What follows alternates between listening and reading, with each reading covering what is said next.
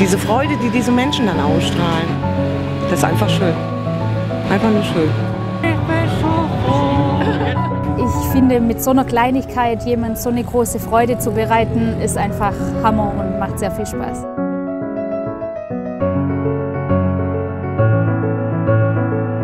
Wenn man die strahlenden Leute sieht und die haben Spaß dabei und so, und es ist einfach so eine positive Stimmung. Es ist ich bin der Thomas, wer bist du?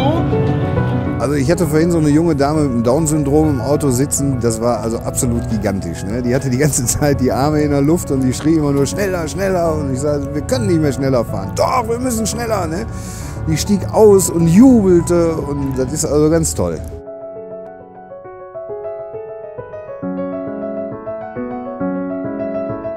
Spitze! Ich denke mal so als Helfer das erste Mal dabei.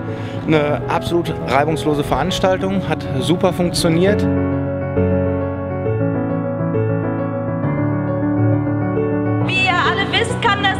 Ohne Spenden gar nicht existieren. Umso schöner ist es natürlich, dass wir dann heute so großartige Schecks hier übernehmen dürfen.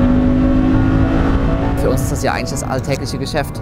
Aber man kann das äh, jetzt nachvollziehen, wie, wie, was das für Besonderes ist für die, für die Teilnehmer hier. Und ja, da geht einem das Herz auf. Gute Fahrt, viel Spaß,